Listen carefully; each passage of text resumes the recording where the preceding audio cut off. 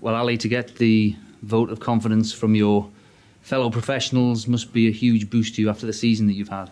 It is. It is a big compliment to me, and uh, I just uh, thanks to all the boys they vote for me, and uh, I'm really grateful. And hopefully, I won't disappoint them next year.